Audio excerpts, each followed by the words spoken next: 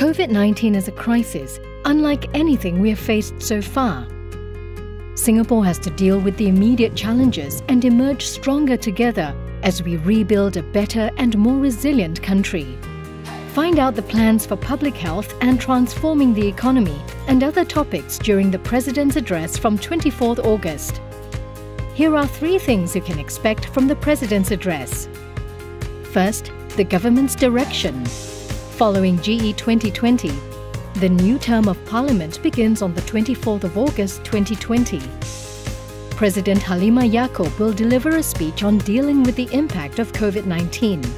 She will also set the proposed direction for the long-term plans for Singapore. Second, the government's plans. Subsequent days after the President's address, each ministry will elaborate on the policies and programs that they will carry out to support the proposed directions. Third, a debate on the plans. MPs will have five days to debate the directions and the policies, during which the government will have a chance to respond. When the debate is over, Parliament will then be adjourned.